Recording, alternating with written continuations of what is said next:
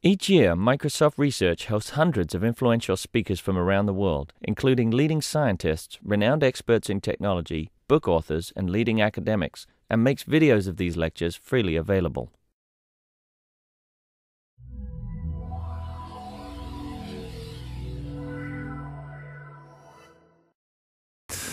Good afternoon, uh, everyone. So, very happy to welcome Ivan Corwin coming to us from Microsoft Research in New England, the first uh, Schramm Fellow. And um, for all of us that are still stuck in the Gaussian universality class, he's going to take us beyond that. Please. Uh, thanks, Yuval. Uh, thanks for having me here. Uh, yeah, I just started around two and a half weeks ago in uh, Cambridge in Boston. And uh, I've been having a great time and very happy to, to be the first Schramm Fellow, and I hope there are many more. And, you, know, you guys all know this is a, a good thing to, to remember, Oded. Um, so I'm, I'm interested in, in talking about beyond the Gaussian universality class. Perhaps it's a, a lofty title, but let me, let me say that it's not. Um, you know, the Gaussian distribution uh, arguably is one of the most important societal contributions that math has made in the past 200 years. And over the course of 200 years, uh, you know, people have really developed this Gaussian universality class. They are able to compute all sorts of things, and they're able to prove all sorts of limit theorems. And over the course of time, people realize that Gaussian is not all-encompassing. There are Poissonian statistics, there are extreme value statistics, and a theme of the last you know, few decades has been a realization that even these are not sufficient to describe suitably interesting situations that really occur naturally. So what I'll be focusing in are models in which there are highly nonlinear functions of inherent noise. And due to this highly nonlinear function you're looking at, uh, you end up with non-Gaussian statistics. And it turns out, in fact, that despite a variety of different models that I'll show you, uh, you actually end up with the same statistics. And this is uh, this is an interesting phenomenon, and in some cases we understand why, and in other cases we really don't. So uh, this will break into two parts. The first, I'm going to focus on a very particular class of models, and these are models for random growth interfaces in one plus one dimension, which means that you have a growing, uh, a growing curve, and it's you're looking at the statistics of how it grows in time. And you know, I'll, I'll, explain a very simple model and then move into two more interesting models. I'll focus on this third one, this coordinate growth. What you're really interested in studying here is the fluctuations, just like any sort of central limit theorem. You're interested in understanding the fluctuations of your growing interface. And it turns out that there are actually two universality classes depending on the parameters of the model. The main one of interest is this KPZ universality class, and it describes the type of statistics and the scalings of these statistics. And actually underlying this whole picture is a continuum object at the interface between these two universality classes, and that's this stochastic PDE called the KPZ equation. So this will be the, the first part of the talk. I'll really explain to you in some depth how this works for growth models. Now, you know, this, you could just take that as being a single, a single thing, and this is its own interesting subject, but it turns out that there are many other fairly disparate uh, subjects which also give rise to the same sort of statistics and the same sort of scalings. And in some cases, we really understand why, and in other cases, it's a real mystery. So I'll, I'll fill up the last part by giving you five different examples. Okay? And if, if the content is not interesting enough, the tools are quite interesting in their own right. So it really involves a lot of interesting math. Okay? So if somebody were to ask you, to come up with the simplest growth model. You're trying, you know, you're a, a physicist and you want to really understand the way that surfaces grow. And they ask you to come up with it. Perhaps the first iteration, which you would quickly throw out for reasons we'll see, is something called the random deposition model. And this model is given as follows. You have a, an initial surface, we can take it to be flat, and in every column you have an independent Poisson process of blocks that fall. So blocks fall independently in each column after exponential waiting times. And, well, we can record these, for instance, in terms of these uh, WXI. This will represent the time it takes in column X for the ith block to fall. And the object that we're interested in, is, in studying is the interface, so the height above a position x at time t, which here would be 4. Okay? So this is, of course, a very trivial model because of the fact that everything can be encoded in terms of sums of these wxi's. So these are independent, identically distributed random variables. And if you want to know the probability the height is less than some value, it's equivalent to that the sum of these is bigger than some other value. Okay? So there's this easy property. And then from that, you can immediately compute law of large numbers. So you say that the interface grows roughly linearly with speed 1, and you can actually compute just with this standard central limit theorem that if you subtract off the asymptotic growth rate and divide through by t to the 1 half, you converge to normal random variables. And each one of these is independent for every location x just by construction because the processes that were, you know, there was no spatial correlation. Okay? Now, what was the point of, uh, what was the point of spending two minutes explaining to you the, you know, the first thing that you learn in probability? It's because I, I want to emphasize what I mean by a Gaussian universality class. So what I'm really getting at here is I'm looking at a class in which the fluctuations of your interface or of your variables scale like t to the 1 half. This is the very classical Gaussian scaling, and they have a Gaussian central limit theorem. The fluctuations are given by Gaussian statistics. And on top of that, and the thing that really is uh, pertinent here, is that the, there is no spatial correlation. So you have an exponent of 0. So your, your next door neighbors are independent. And in general, when I talk about a universality class, this is what I'm going to be keying in on this sort of information about the scale of the fluctuations, the spatial correlation, and then the actual probability distributions. Uh, not just one point distributions, but how multi point distributions are, are correlated. Okay?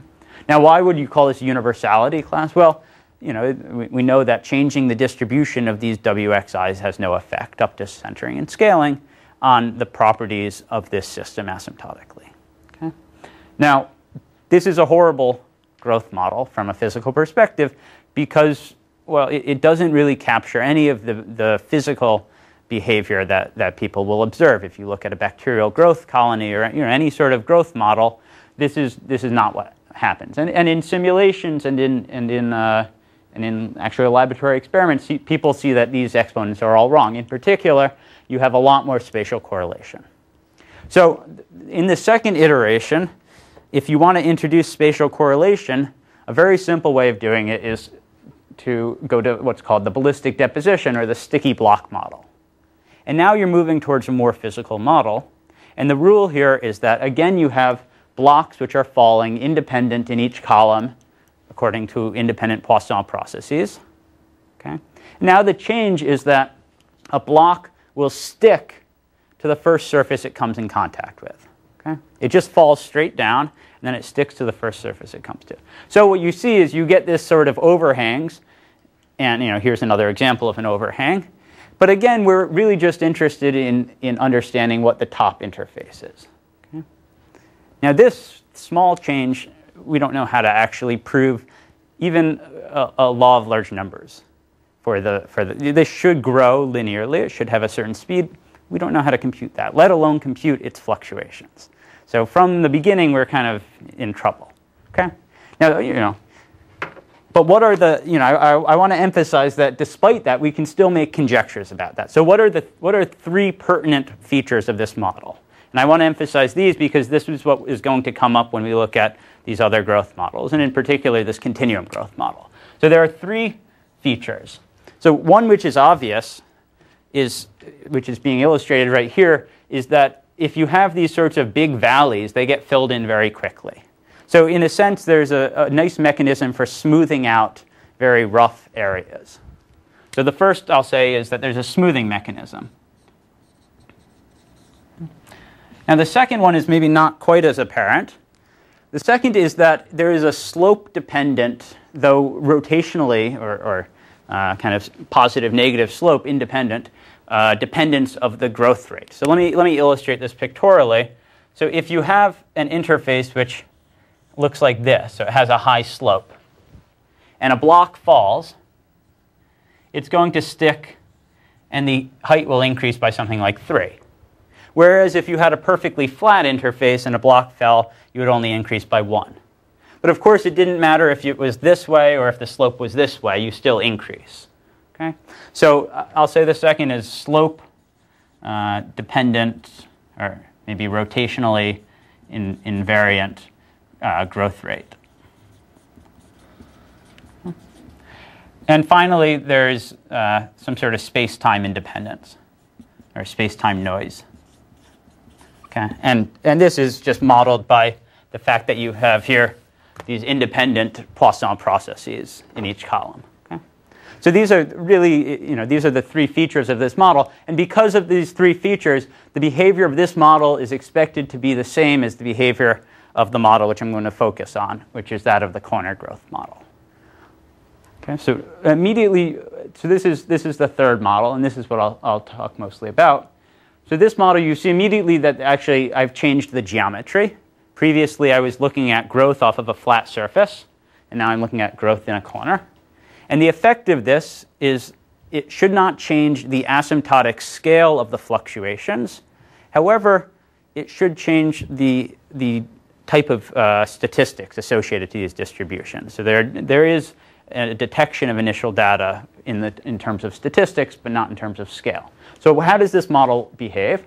Well, initially, let's say you start out with an empty corner.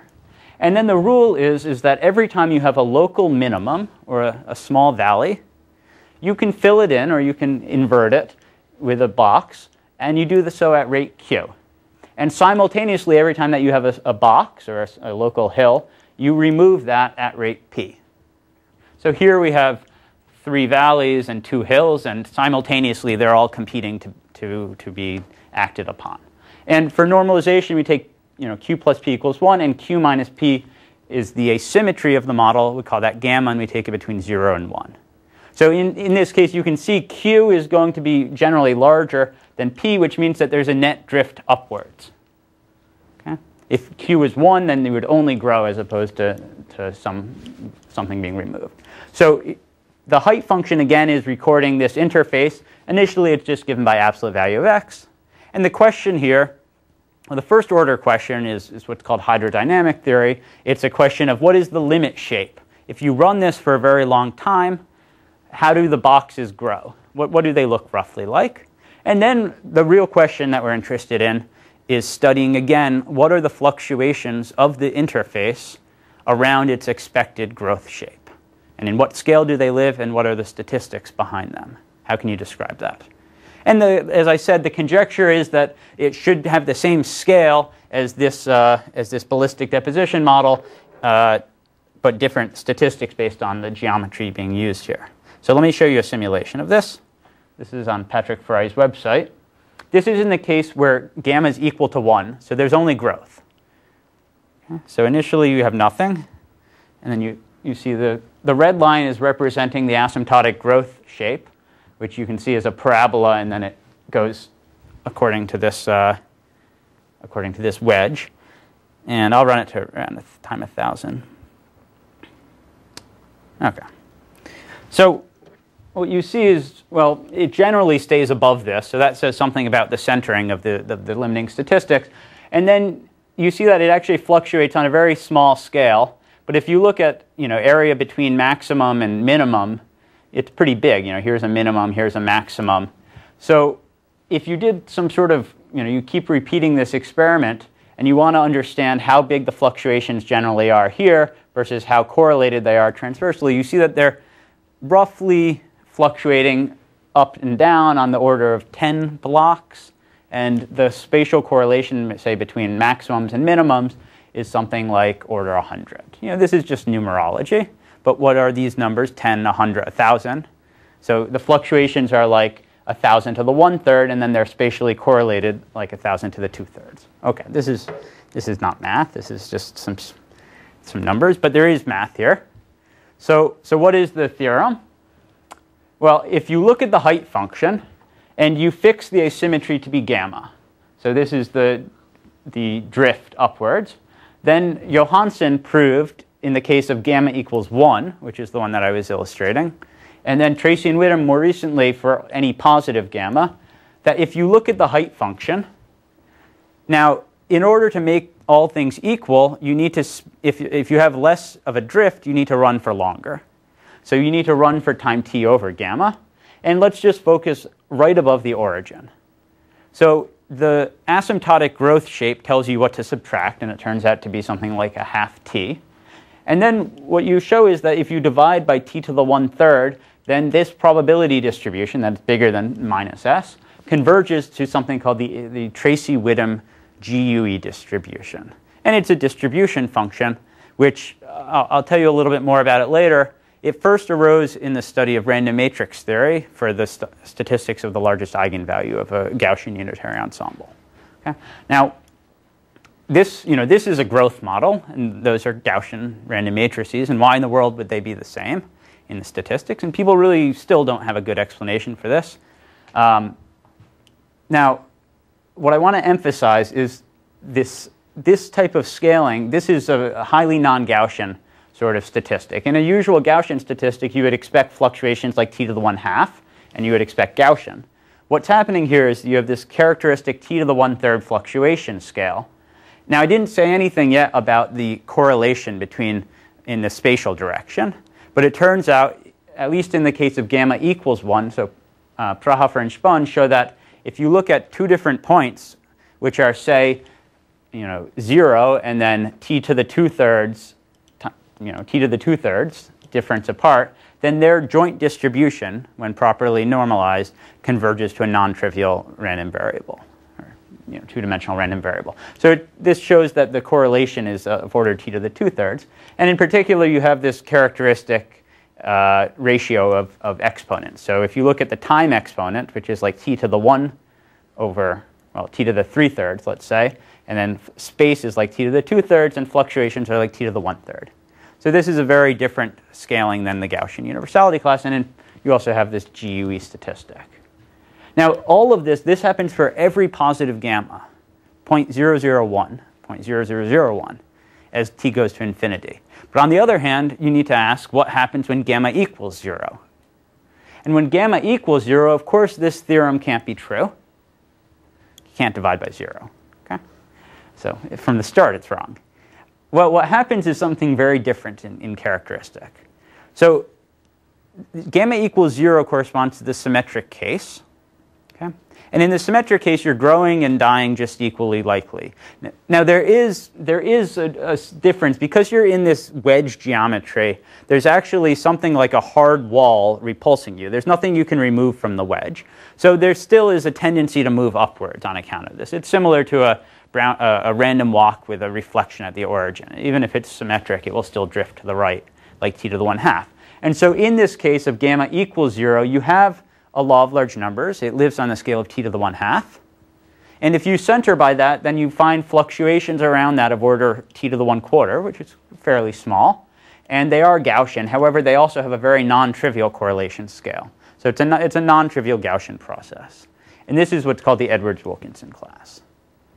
So now there's a little bit of a question here. And I'll ask three questions, and this is the first of it, is that you have for every positive gamma one behavior, and then you have for gamma equals zero another behavior. And they sit right next to each other. And the scalings are totally different, and the statistics are totally different. So what happens at the interface? What happens between them? How does this work? And there's a general mantra, and we'll see that it holds true in a few cases in this talk, that at these sorts of interfaces, you expect that by scaling into them, you will find universal scaling objects. And that is what this KPZ equation turns out to be. But let's wait a second. Um, sorry. So uh, before I go on, let me, let me give you just a drop of the history. So what was known about this, this KPZ universality class? People in physics had been very interested in studying growth models and, and scalings of these growth models. And what had been determined, and I'll tell you just a drop how, um, what was determined was that the exponents should be one-third and two-third. This was determined by very black magic, non-rigorous mathematics, but it still, they had guesses. What came as a complete surprise was this GUE distribution. People had no idea that, that random matrix theory would rear its head in this setting. Okay? Now, so how were these exponents computed in, in physics? I, you know, I'm not going to go into the exact method, but it, what it, what it relied on was this work of Kardar, Parisi, and Zhang. So Kardar, Parisi, and Zhang in 1986 had in mind that there were all of these growth models that, that people had been studying. And in particular, the growth models involved these three characteristic properties. So they were interested in models with smoothing, slope-dependent, rotationally invariant growth rate, and space-time white noise, or some sort of space-time noise. And the question was, how can you determine the scaling properties of these models? But people didn't know how, so what they proposed is, well, we might as well choose the nicest one amongst them. And in general, for analytic purposes, discrete things are sometimes harder than continuum things. So they proposed the following continuous model as something of the typical, the prototypical growth model.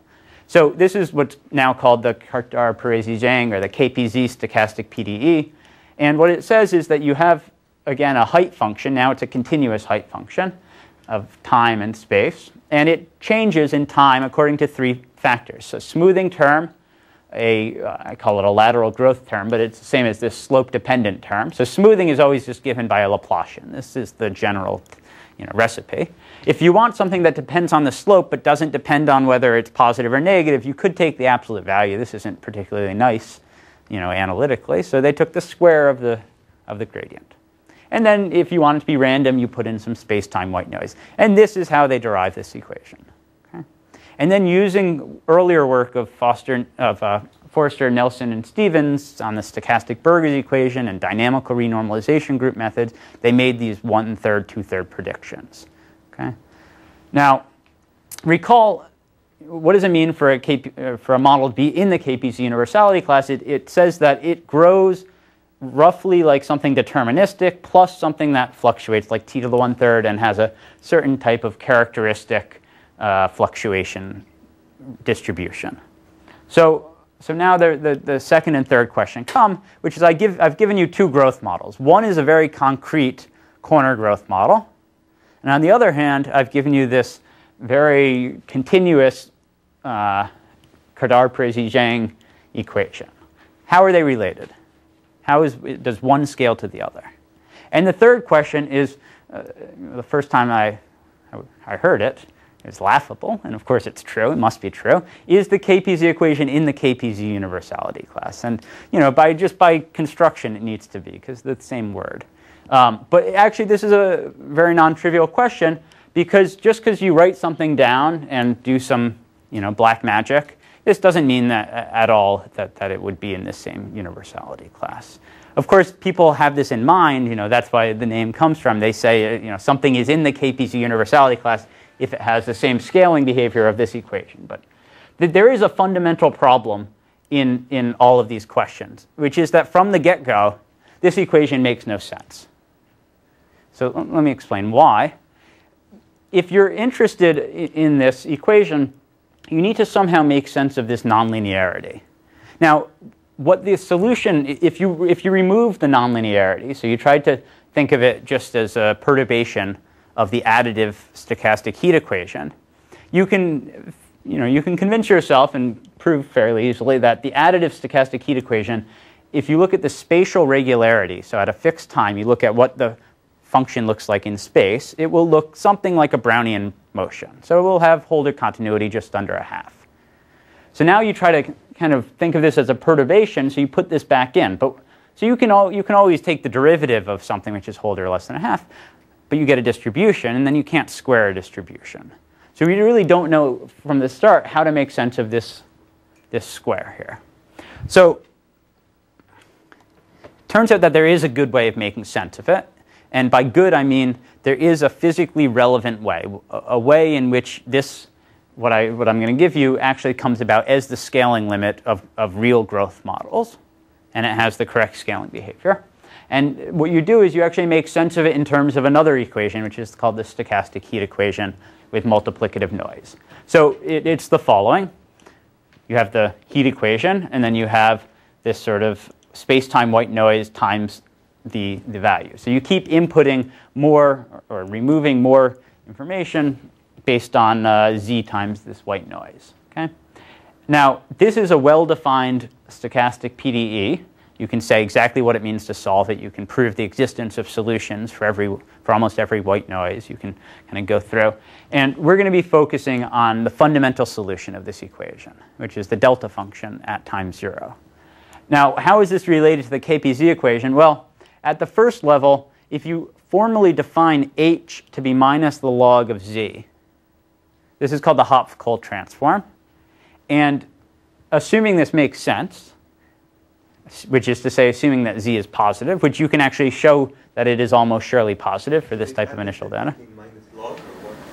Well, as opposed to just plus log? No, it's just, you know, it's the issue of choice of signs. Um, you could have put a plus here, of course. White noise is symmetric, right? So from now on, whenever I take a minus log of something, I have to call it the Hopf-Cole.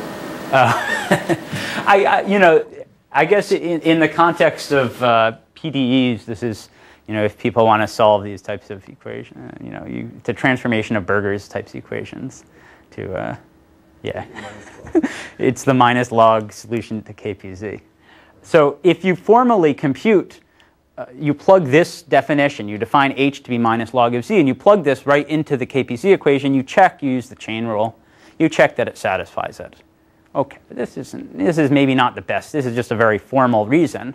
As we'll see, actually, if you interpret the KPZ equation as minus log of z, then you can show that this h comes about as the scaling limit of real growth models. So from a physical perspective, you know, you want continuum objects to really explain discrete objects, and this explains the discrete objects that you're interested in. Okay? So Okay, so now, now that we have this definition in our hands, we can actually go about answering these three questions that I asked. Okay? So what are the answers? This is joint work with Gideon Amir, Jeremy Quastel, and myself. So first I asked, you have this very nice corner growth model, very simple. You either grow, you fill in boxes, or you remove boxes with a certain asymmetry. How is this related to the KPZ equation? And hand in hand with this was this question of what happens between positive and zero asymmetry. And I said that there should be some sort of continuum object at the interface. So what do we do?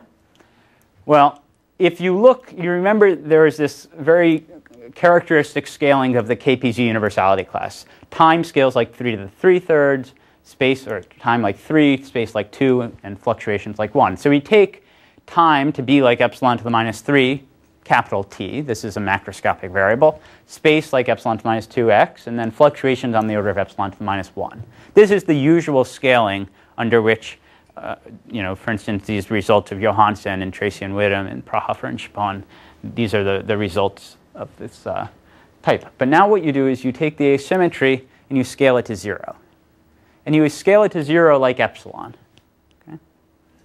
And then what you find, well, recall we only know what it means to, to solve the KPZ equation in terms of this Hopf-Cole transform. So really any convergence result should occur at the level of the stochastic heat equation. Okay? So what we need to do is we define, and this is very much similar to work of Bertini and Giacomin. Bertini and Giacomin, they studied not a corner type of geometry, but actually a very flat geometry. And it turns out their work doesn't apply they're, it, it, they're this is far out of their out of the kind of the realm of their uh, of their theorem, but their approach still applies, and there's a certain logarithmic correction, and things become a little bit more complicated, but nonetheless a similar sort of approach.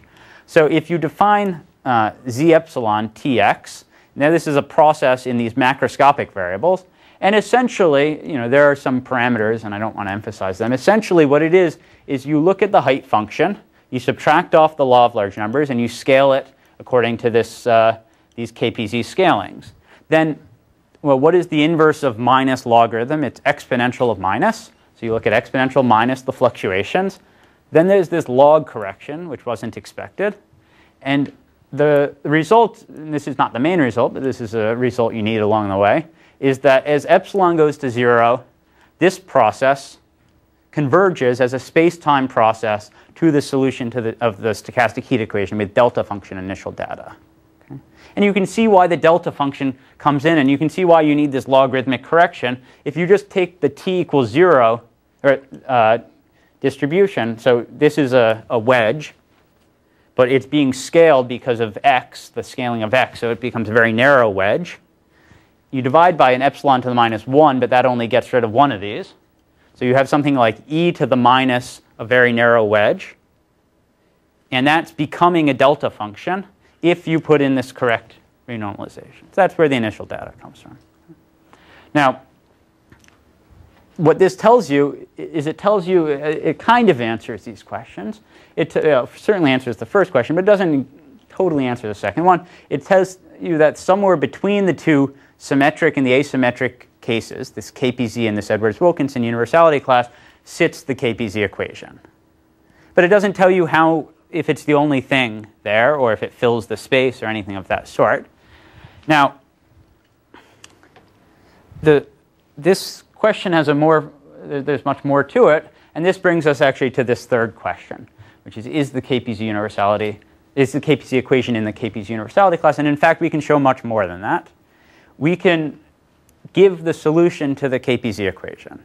So if you take the stochastic heat equation with delta initial data, you run it for time t, you look at the minus the logarithm of that. That's a random variable. It depends on the white noise. What is the distribution of that random variable? Well, when you subtract off a constant, this constant, it's prob its probability distribution is given by something which we call a crossover distribution, ft of s. And that can be written as a contour integral of a Fredholm determinant uh, with a, well, an extremely explicit kernel. Okay? And what, what you should notice here is that for those with, who've seen this uh, Tracy Widom GUE distribution, that's written as a Fredholm determinant of a kernel. And the kernel is exactly of the form of the kernel here, except this sigma function, which here is some sort of mollified step function, is replaced by an actual step function. So the Airy kernel is just an integration from 0 to infinity of this product of Airy functions, and this is a, a mollified version of that. Okay? Now, I should remark, Sasamoto and Spohn, two mathematical physicists, simultaneously and independently discovered this formula. They made no attempt at giving a rigorous proof of it, and I'll remark in a little while uh, what goes into the proof of this, just, just a drop about that. But what is, the, you know, what is the outcome? Well, on the one hand, here's a nonlinear stochastic PDE that we're able to give an exact solution to uh, the statistics. Okay? But from a physical perspective, it also shows a very nice crossover between asymmetric and symmetric uh, cases of, of this universality. So what is, how does this come in? Well, there's an interplay between the asymmetry and the time. So if rather than looking at an asymmetry of epsilon, you looked at an asymmetry of 2 epsilon or 3 epsilon or 4 epsilon, you would still get a scaling limit, and that 2, 3, or 4, that would actually end up scaling into the time parameter. And the way that it works is that the larger the asymmetry is, epsilon times alpha, the larger alpha is, that corresponds to the larger t is. So what you find is actually that as t goes to infinity, you just do some asymptotics on this equation, fairly simple, that as t goes to infinity, if you rescale by t to the one-third, then the statistics converge to that of the Tracy-Widom GUE distribution. So what this tells you is that the long time limit of the KPZ equation has t to the one-third scaling and is GUE. So the KPZ equation is in the KPZ universality class. Now on the other hand, if you take t to 0 and look at the short time, which corresponds to moving towards gamma equals 0, then when you center correctly, if you scale like t to the 1 quarter, the Gauss, you convert to a Gaussian distribution, which is exactly that of the Edwards-Wilkinson universality class. So the punchline is that the KPZ equation actually represents a transition or a crossover between these two universality classes. And it's a smooth crossover in statistics and in scalings. And you can see this directly from this formula. So how, how do you prove such a formula? It comes into two steps, and I'll just very briefly tell you what they are. The first step is, is this result on the previous page. It's the realization that you can use a discrete model to approximate this continuum model. And then the second piece of input which you need is some level of solvability. Here's an exact formula. You need some level of solvability of exact formulas for the corner growth model. And work of Tracy and Widom, which went into this positive gamma result of theirs, this provides the starting point for for this sort of thing. You need to do very complicated asymptotics and you know all this sort of stuff, but in the end you get this formula. Okay? So let me let me wrap up this first part by giving you just a few open problems and then uh, review, and then I'll move on to a bunch of examples. So here I've, i gave you the solution for a very particular type of geometry or type of initial data. The geometry remember, is this narrow wedge type of geometry or a wedge geometry. But another geometry that you're interested in is understanding growth off of a flat surface, like this ballistic deposition model I talked about in the beginning. And, well, that would correspond to a particular type of, well, I guess height equals zero at time zero. And we don't know how to solve for the statistics of this or prove that this is in the, trace, in, in the KPZ universality class. So this would be one good question. Also, computing more than just one point statistics is another question that we don't yet know how to do. And this third one is a little bit uh, more vague. There is a natural renormalization for all of these models. It's this 3, 2, 1. So you rescale time like 3, space like 2, and fluctuations like 1. Take any model in the KPZ universality class, for instance, TASEP or KPZ equation. Rescale it according to a renormalization group operator with these scalings. So rescale time and space and fluctuations in the scale. It should converge to a fixed point. That fixed point is actually more important, in my opinion, than the KPZ equation itself, because that fixed point is the fixed point of any model, whereas KPZ equation requires this weak asymmetry describe and compute the statistics of, the, of this model. Of course, we know some stuff about this fixed point.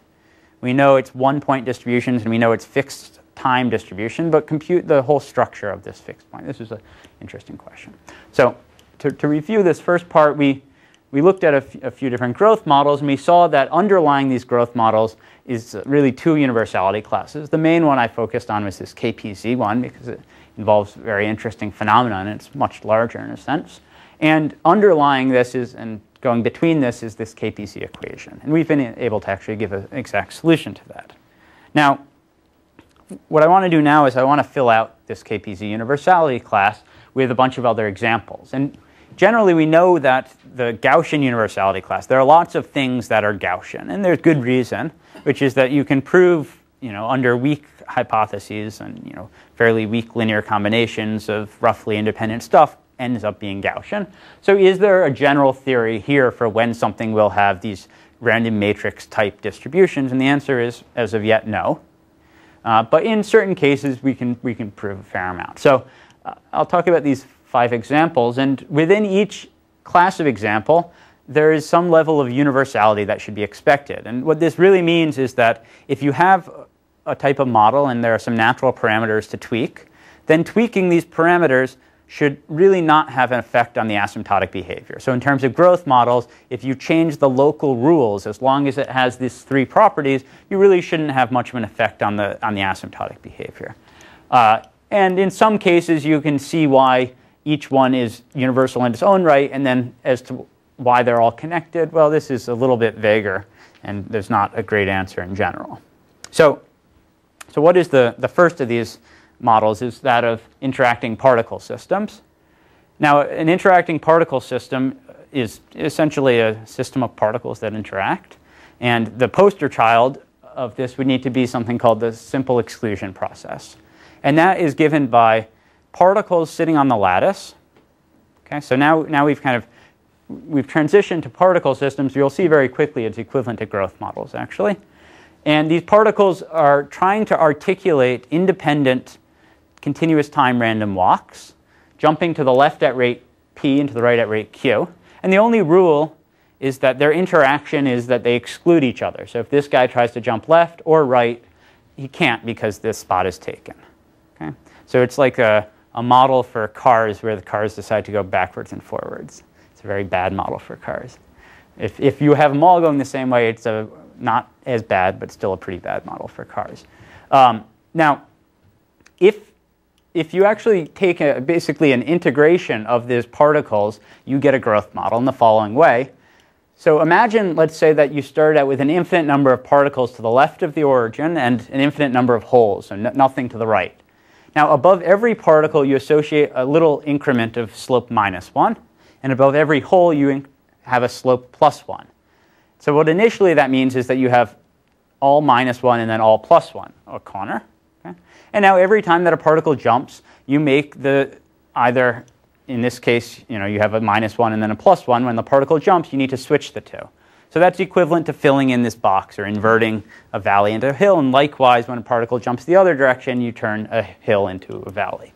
So you see actually that this model and the, the corner growth model are coupled uh, at the most fundamental level. Okay? But what's nice about this is that it's very easy to now tweak this corner, this, uh, this particle system, and now here are a bunch of open questions. If you tweak it in any degree, prove that nothing changes. Okay? And essentially, we don't know for any tweaking of this model that it stays the same. So for instance, uh, one can ask about what if the particles jump more than just to their nearest neighbors? That shouldn't change things much, right? But we don't know how to prove it. Prove that, you know, th these two types of jumps. Uh, or, you know, what might actually be easier, it, it's generally easier to prove, when you have a continuum object, it's easier to prove convergence to that continuum object. So take the asymmetry between the jumps, so, you know, you have a certain mean jump distance, take that to go to zero like epsilon and do all this rescaling, prove you converge to the KPZ equation. Again, we don't know how to do it. Other perturbations is you can have a, some sort of location dependent or environment dependent jump rate. For instance, you're not just affected by a particle to your left and right, but by particles a, a little bit of a distance away from you. Um, and, and again, we don't know how to do this. Weaker forms of exclusion where particles can jump on top of each other, just don't like doing it, and they're zero range or finite range processes. Each one of this type of perturbation should not change the asymptotic behavior of this model. However, uh, as of yet, we don't have the techniques to prove this universality. Uh, so ideas are welcome. Now, now I'm going to, I'll give you a different way of keeping track of this corner growth model. And this will move us into the study of polymers, directed polymers, which is something slightly different now. And this is another model which is in the KPZ universality class. So how does this work? Well, I'm going to focus for the moment on gamma equals 1. So remember that we have the corner growth model. And when gamma is equal to 1, you only have growth. So if, if you want to keep track of this model, one way of keeping track of it we saw was to have a height function and keep track of the, how the height function grows in time. Another way is to just keep track of the time it takes to reach different points the time that it takes for a point, you know, for a box to get grown from time zero, certain time. And this is actually what we define as the last passage time. So LXY is the time when box XY is grown. This is gamma equals 1. So it turns out that there's a very nice way of keeping track of this. If you want to know the time it took box XY to get grown, so for instance, this box to get grown, well, we know that this box and this box need to have been grown. It's two parents essentially need to have been grown. And once these parents have been grown, then there's a waiting time. And because everything is independent and it's a Markov process, the waiting time can be specified actually from the start as just wij being an exponential random variable of rate 1. So what that actually tells you is that if you want to compute this lxy, then you can compute it in terms of its two previous neighbors plus the additional waiting time for that box to grow. Now, because of the connection with the corner growth model, you can write down, and you can use this result of Johansson to write down the exact uh, scaling properties of this. So it grows roughly, if you look out in a direction uh, xy and times a large variable t, then it behaves like some deterministic time it takes to get there, plus fluctuations, and the fluctuations are t to the one-third and have this Tracy-Widom GUE characteristic property. Now here's another open question. This is a big open question now.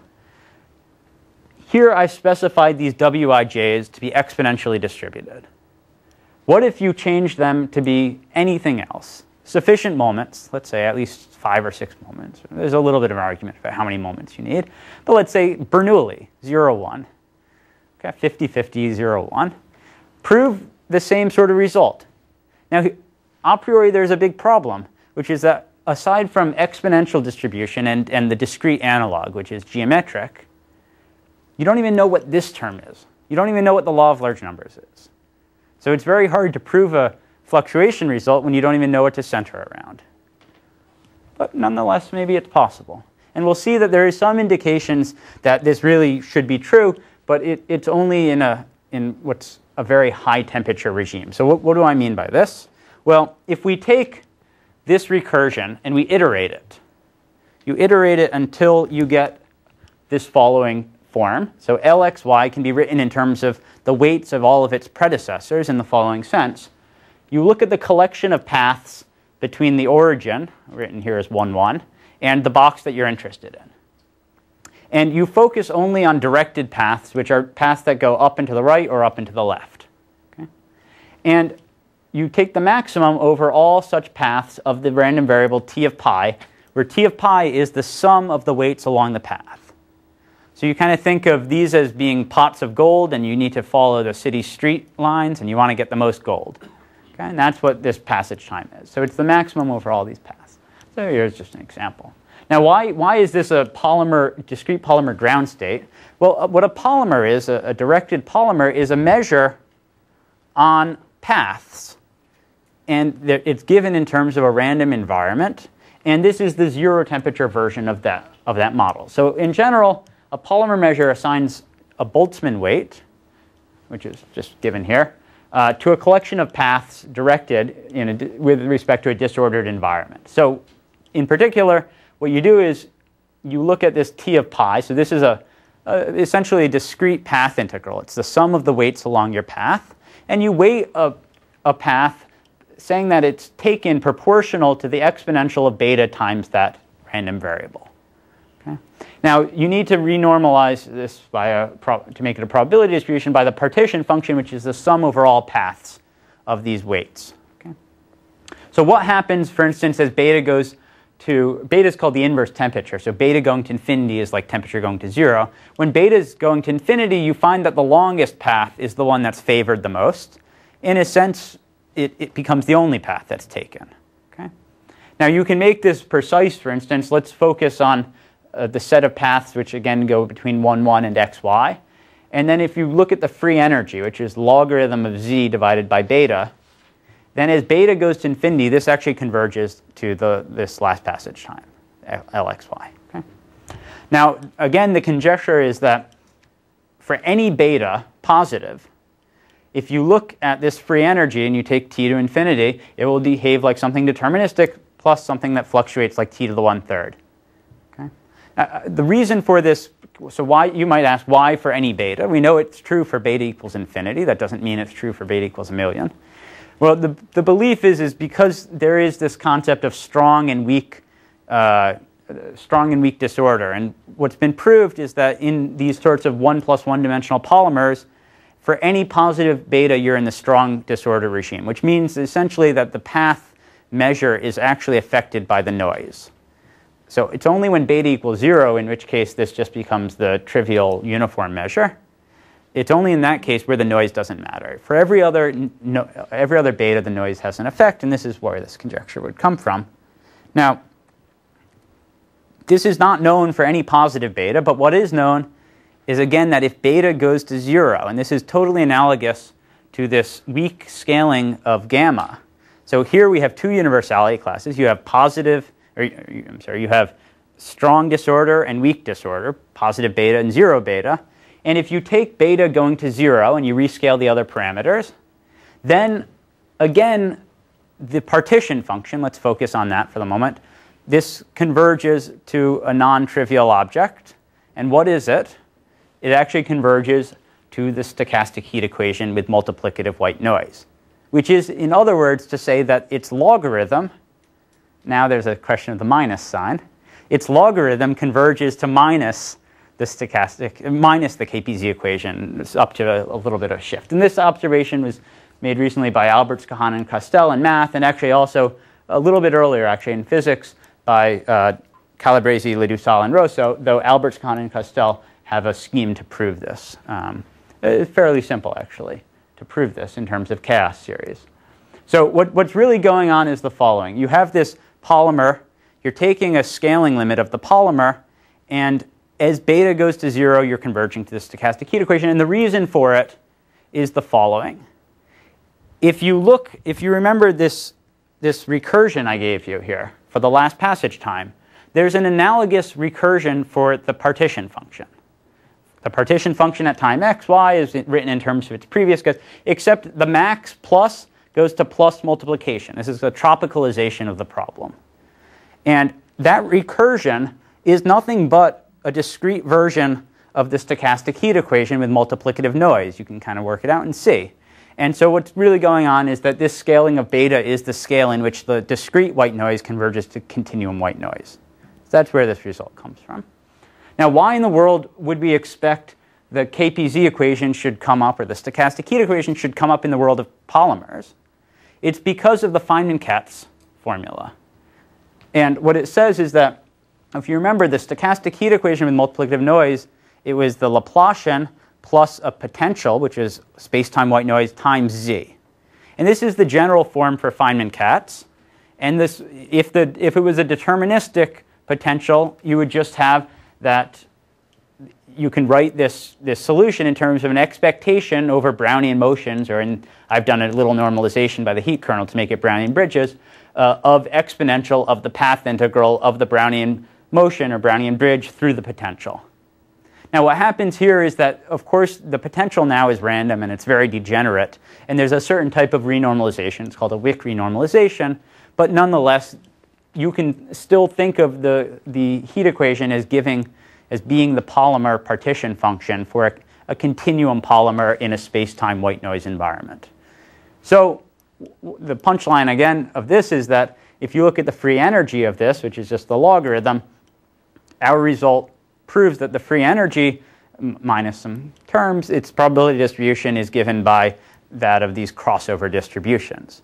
So what this says actually is that in a sort of double scaling limit sense, as beta goes to zero, that, that, that there is universality. So it's this weak form of universality.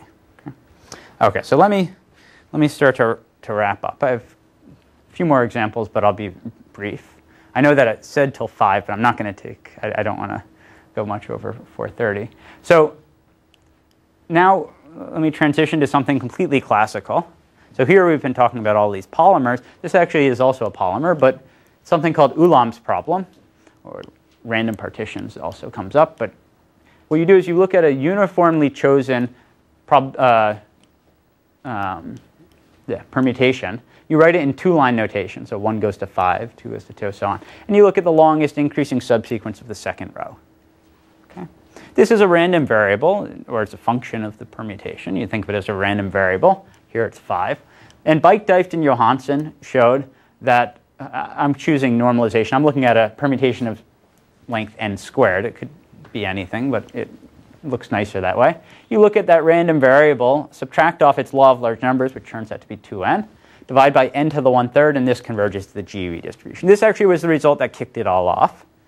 This was where we, people first kind of discovered that these GUE distributions were coming up elsewhere uh, besides random matrix theory. And what was underlying this is really this Robinson-Schensted correspondence, or Knuth uh, correspondence, uh, which is a correspondence between permutations and certain uh, combinatorial objects, partitions, which also have interpretation in terms of representation theory and the sorts. Um, turns out actually there, there's a, an interesting world of tropical combinatorics in which there's a tropical RSK correspondence. It corresponds to positive temperature polymers, and you can actually use similar techniques there.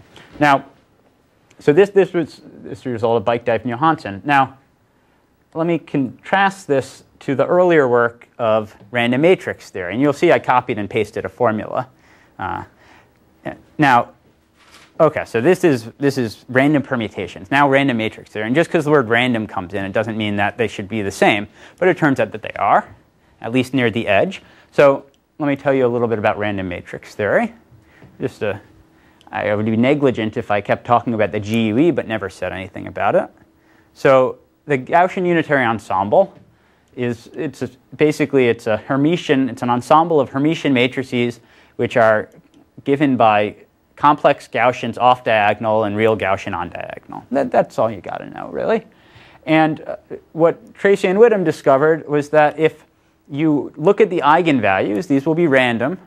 You look at the largest eigenvalue, and you subtract 2n divided by n to the 1 third, then its probability distribution is given by the, okay, we're not going to do that crowd thing, by the Tracy Widom GUE. Okay? And of course, that's where the name came from.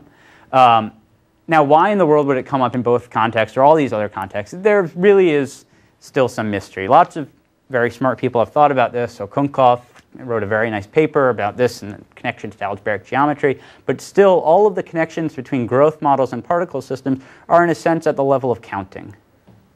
Okay. Now, within random matrix theory itself, this KPZ scaling is ubiquitous. It's universal, and this is perhaps the most universal that people have been able to prove. Uh, so what is known, uh, just briefly, one slide on it.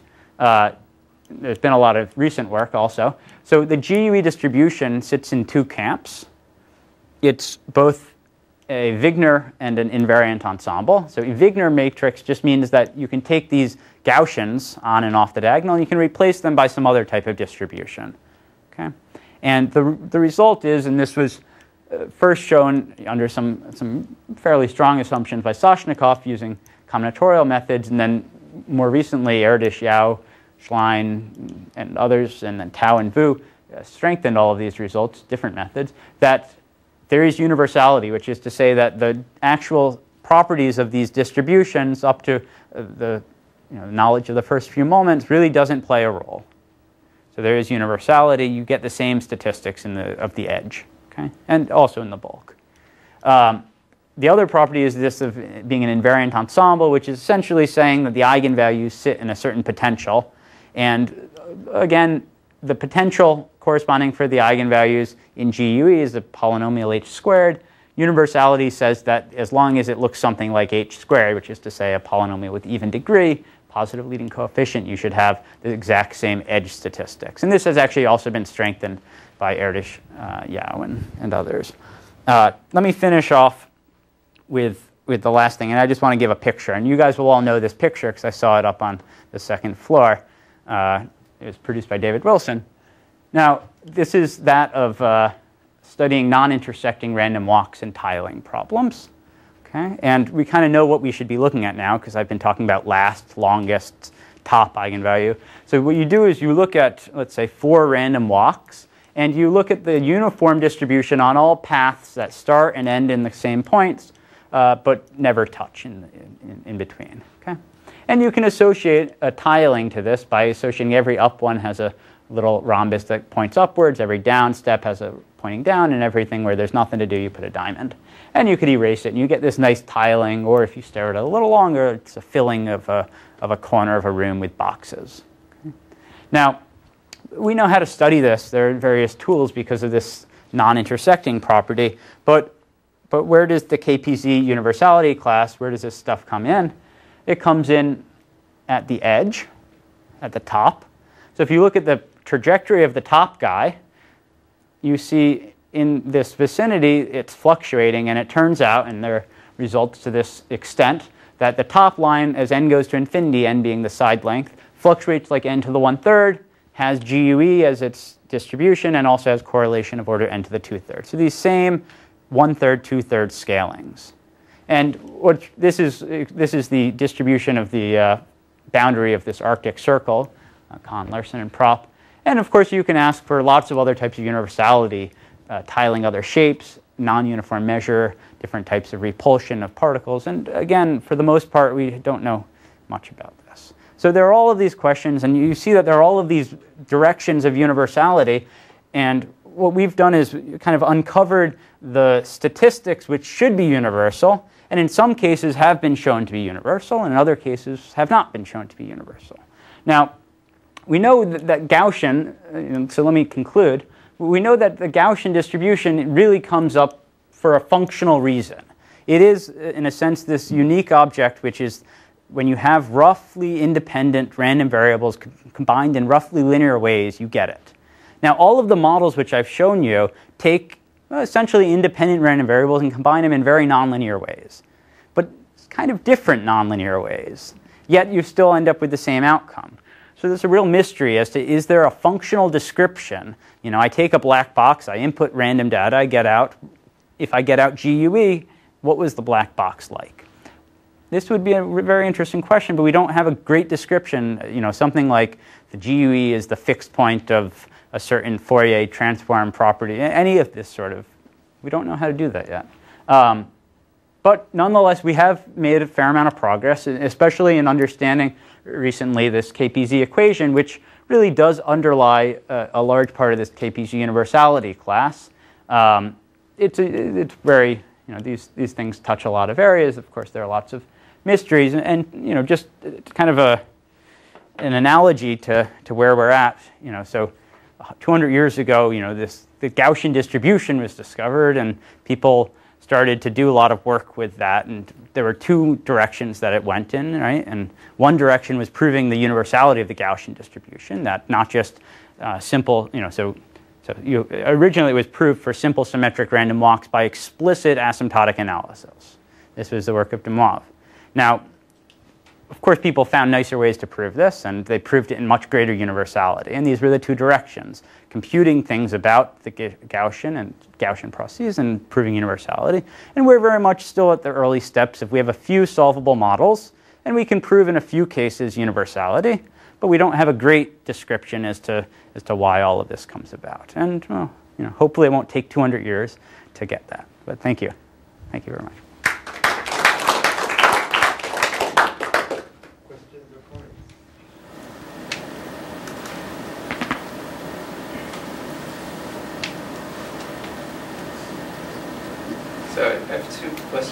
One is, is there any kind of that characterizes this GUE distribution? Maybe something analogous to the Gaussian maximizing entropy for given variance?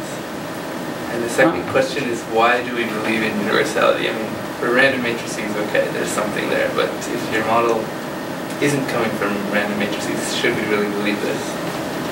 Why is there something there for random matrix theory aside from the fact that we can prove it? Um, okay, so, so for your first question, in a sense, I, I can, well, no, but there, there is some something to that extent. So let me tell you just a, one thing. So if you look, um, so there's work that I've been doing with Alan Hammond uh, on looking at non-intersecting line ensembles. So if you look at one of these sorts of ensembles I was just showing, or you look at Brownian bridges, condition not to intersect, and you take the number of Brownian bridges to infinity, and you look near the edge of the kind of shape, and you look in a scaling window, you find that the top Brownian bridge is that is given by an Airy process, whose marginal is the Tracy-Widom GUE distribution. Okay, now in the scaling limit, it, there's a certain property which is also true in the finite limit, which is that of if you look at the collection of lines, they have a, a Gibbsian property, a Brownian Gibbs property, which means that if you take one of the lines and you erase it, you can resample it according to a new Brownian bridge conditioned not to touch the line above it or below it. And we in fact believe that if you look at the whole collection of lines in this edge scaling limit, then it's a there's up to some sort of spatial invariance property. This is the unique set of lines that has this Gibbs property. So in a sense, the, the GUE if this, is, if this conjecture is true, the GUE is the unique marginal, kind of top line marginal of a, such a Gibbsian line ensemble. So it's a little bit of a of kind of little bit of what you're asking. It's not quite.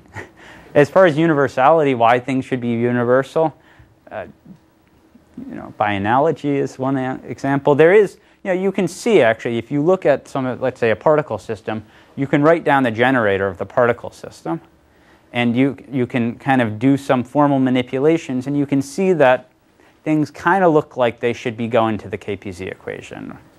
You know, at some formal level, you can kind of pick out the KPZ equation. So, you know, they're very formal calculations, but also simulations. These are.